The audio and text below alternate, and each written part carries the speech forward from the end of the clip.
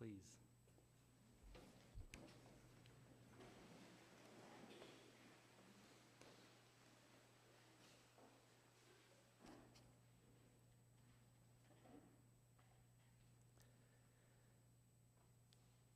Ask, search, knock.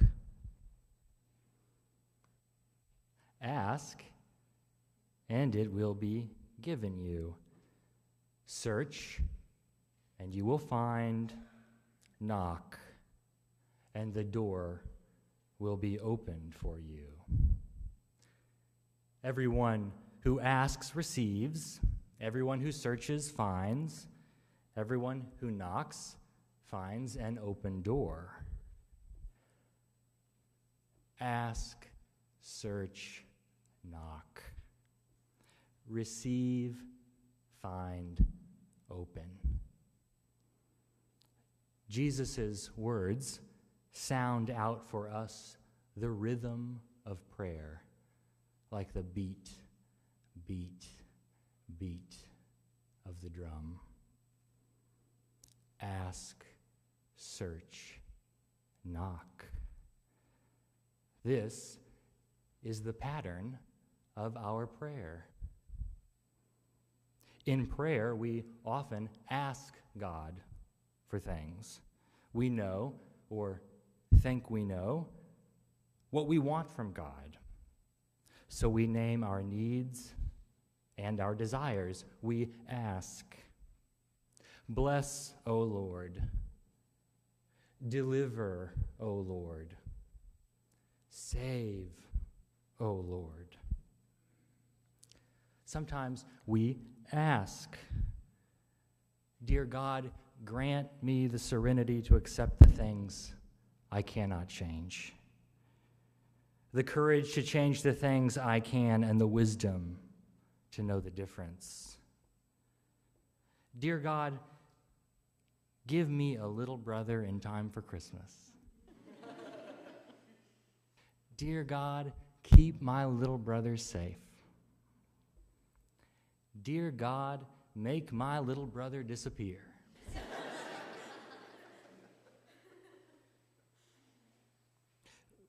when we don't know what to ask, sometimes we search.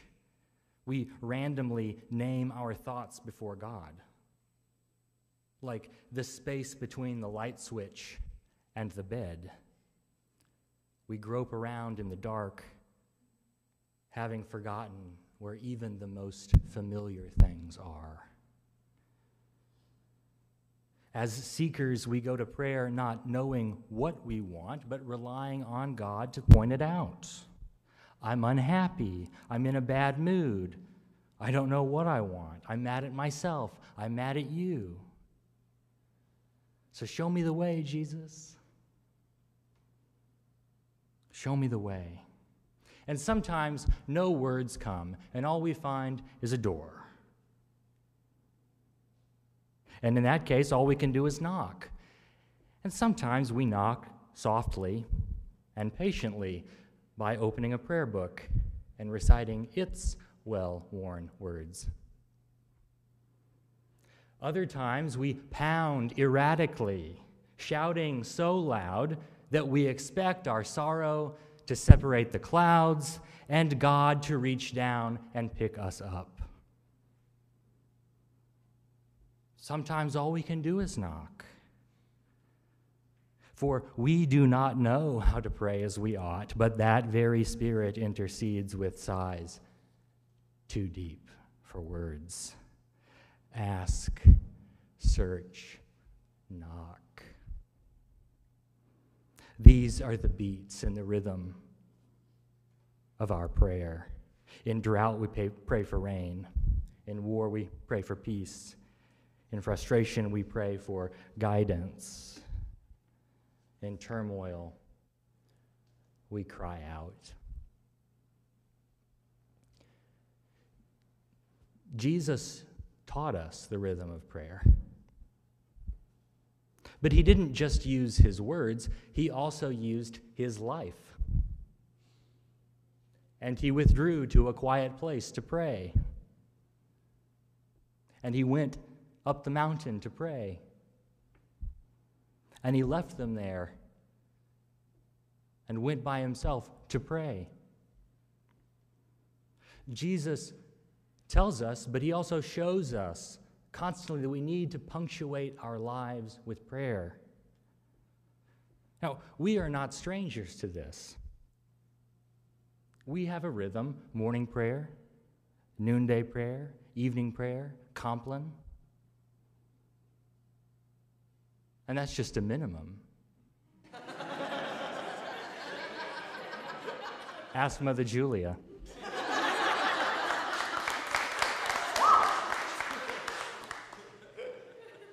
For centuries, she's right.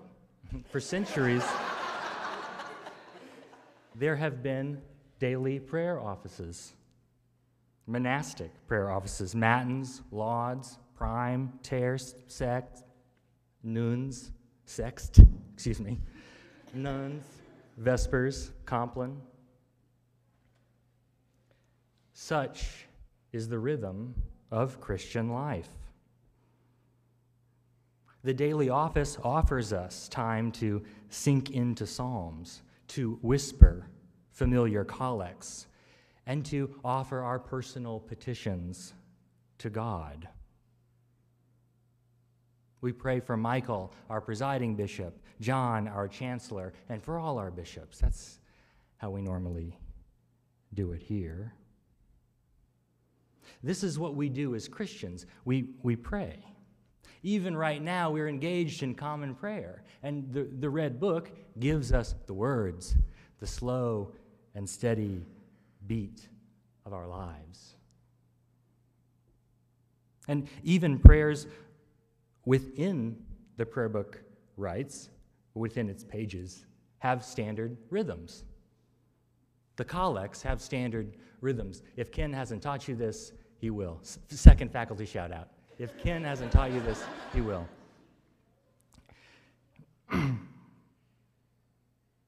they have every prayer has an address, an attribution, a petition, a reason, and a conclusion or a doxology. Address Dear God. Attribution Almighty and ever living Father. Petition Give us strength. Reason so that we may more perfectly serve you. Doxology in the name of your Son, Jesus Christ, who lives and reigns with you in the Holy Spirit, one God, forever and ever. It's a rhythm. The rhythm pulsates inside of us, it becomes part of who we are. We pray when we're thankful, like before meals or when we gather with old friends. And we, we pray when we're nervous, like when the professor is passing out the midterm or just before we meet our beloved's parents for the first time. We pray uh, when we have work to do at board meetings and Bible study. We pray at the bedside for healing and for peaceful death. Jesus taught us this rhythm. So we do it. It's a simple concept, easy to understand, but you don't always do it very well. and I don't always do it very well. I doubt. I wander. I fidget. If you're like me, sometimes the rhythm of your prayer is interrupted because you get distracted. What is appropriate to include? Things that I need, things that I want, things that I think others need? No matter what I have to offer, it always feels inadequate. Please, God, I need to pass this exam. No, that's too self serving. I pray, Lord, that I am not like them. That's judgmental. Please, God, cure my flu. But other people have it, so cure theirs too. I don't want to be selfish. Lord, thank you. Thank you that this sermon is a success. but that's too, that's too self congratulatory. In silence, at the daily office, uh, I name family and friends rapid fire, only to find myself worrying about who I did not name. Oh no, I prayed for Susan this morning, but I just talked to her. And Nanette could probably use it more. And then there's Diego, who I always forget. And what about Grandma? What about Grandma? Do you do that? Do you edit your prayers? No, I won't ask God for anything this evening. I've been asking for too much lately. I do that. You might do it too. I wonder. I wonder if your prayers feel inadequate sometimes, like mine do. How many more children must die? How many more women must be groped? Does it ever feel inadequate?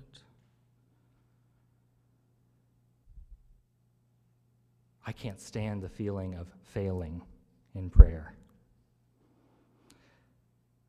But here's the conclusion I've come to I'm not. There's no reason for you to censor your prayer. I think a lot of us spend a great deal of time and energy trying to perfect the rhythm of our prayers. But that's not the point.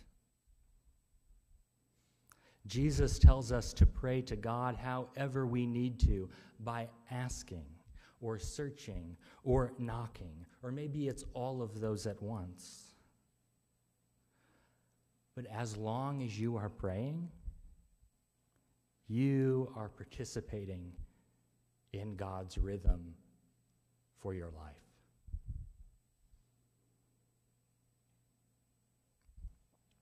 We pray to communicate with God. We don't have to be in touch with God. God already knows us better than we know ourselves. But we talk to God because we are in relationship with God. And that's what you do when you're in a relationship. You talk. You talk to each other. It's not always perfect, but it's part of the rhythm. It's part of the rhythm of life together. Hi, honey, how was your day? Fine. Is that all? Don't I get anything more? It was okay. I got stuck at the bank for a long time. I just don't want to tell you every detail because I'm tired and I just got home from work. What we say to each other is rarely perfect. But we have the conversations because they are important to us. It's important to that rhythm, and it's important to God. God understands when you don't. God handles the onslaught of your disorganized thoughts even better than your professors. God doesn't require you to cite any sources or tag any friends. God just wants to hear from you. God just wants to hear from you.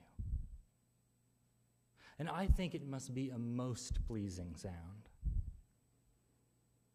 the rhythm of God's people in prayer.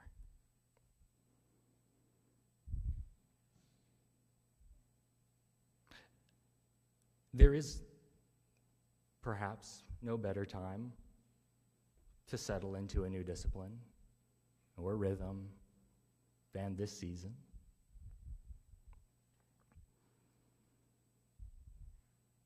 And if you do, if you do settle into a rhythm of prayer, resettle.